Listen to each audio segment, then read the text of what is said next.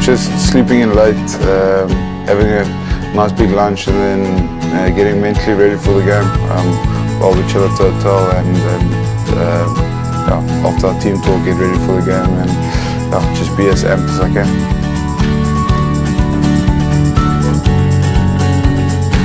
It's mostly mostly good meat and uh, chicken, and I try and get a lot of veg in. Um, I still have my cheat meal every now and then, uh, just to, to keep myself sane and happy. So, yeah.